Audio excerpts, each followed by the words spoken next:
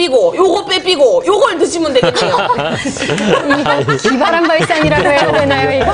믿거나 말거나 합니다. 곶감이 되기 위한 마지막 단계는요. 지리산의 청정 공기와 만나 쫄깃하게 여물어가는 과정인데요. 초겨울을 환하게 밝히는 주황빛 곶감 타래가 정말 장관이었습니다. 아, 빛깔이 정말. 오늘 제가 단 이 감을 먹으려면 50일을 기다려야 돼요. 예. 아이고 그림의 떡이네.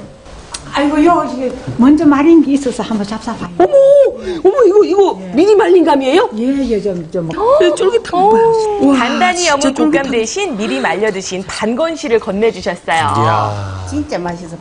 지금은 이렇게 먹어도 이 맛은 있지만은 오래 두도 못 오고 네. 매 말려서 딱 그러면은 딱지 몸 마릴 때까지 딱 마리고 이러면 저장성이 1년, 2년 놔둬도 그대로 한 그렇게나 맛이고 오래 가요? 특히 곶감은요 면역력 증진과 감기 예방, 기관지염에 좋다고 하니까요 올겨울에 건강하게 나려면 많이들 드세요. 그런데 곶감을 더 맛있게 먹는 방법이 있다고 하더라고요. 야 이거 진짜 떠나면 아주 맛있어요. 어, 팥가루부터 이 해서 놓고. 이 마을에서는 설날이면 곶감을 넣어서 시루떡을 해두셨다는데요. 예부터 귀한 음식이라고 합니다. 오, 저는 못 먹어봤네요. 곶감 넣은 시도. 이건 진짜 처음 봐요. 맛이. 맛있다. 아이고, 좀 생각이 아유. 안 되는 게 뿌리가 좀 빠지고 하지. 네. 어. 떡갈비 맛있어가지고요. 아니, 근데 진짜 맛있어 보여요. 정말 맛있어요. 저걸 또 저렇게 익히면. 이거 밀어. 응. 이 나한테 먹으면 어떠나? 자, 만난 곶감 먹었겠다. 제가 힘 자랑을 좀 했습니다. 어, 큰일 하셨네요. 활활 타오르는 장작불 덕분인지 모락모락 맛있는 떡이 완성됐습니다. 쫀득한 시루떡과 향긋한 곶감이 잘 어우러졌더라고요. 어, 진짜 맛있게 익었네요, 저거. 아, 제대로네요. 먹어봐야 안 되니까요. 호랑이한테 잡혀가도 모를 그런 맛입니다. 진짜 옛날엔 떡들이 다 저랬죠. 그렇죠. 정말 마을 분들도 맛있게 잡수시죠? 그리고 곶감을 넣고 맛을 낸 요 곶감 수정과도 별미더라고요.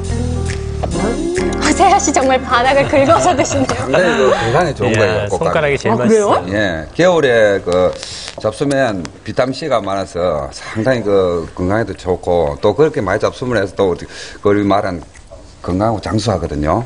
아니 근데 어떻게 곶감만 먹고 장수 마을이 될 수 있어요? 될 수 있어요. 정인이로 나오세요. 내가 정인 이루야.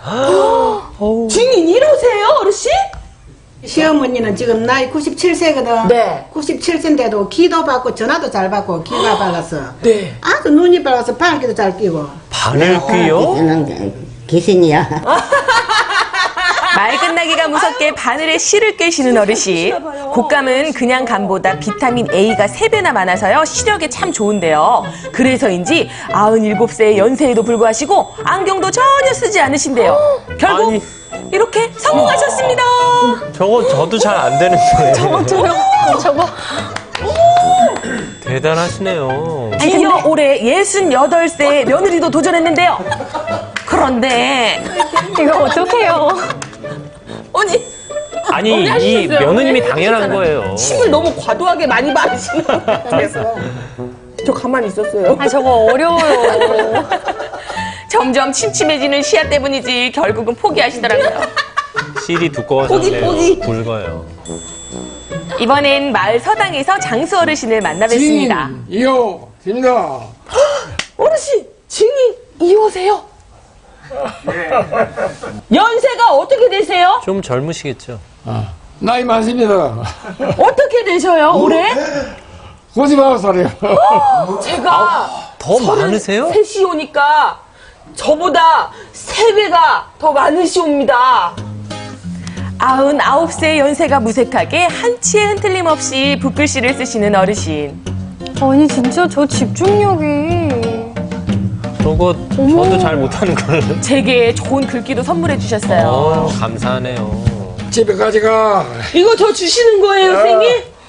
어머, 정말 감사합니다. 이 귀한 글귀를 제가 집안 가보로 잘 모셔두도록 하겠습니다. 선생님, 감사합니다.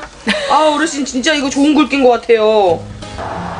물 좋고 산 좋은 대포마을은 장맛도 일품인데요.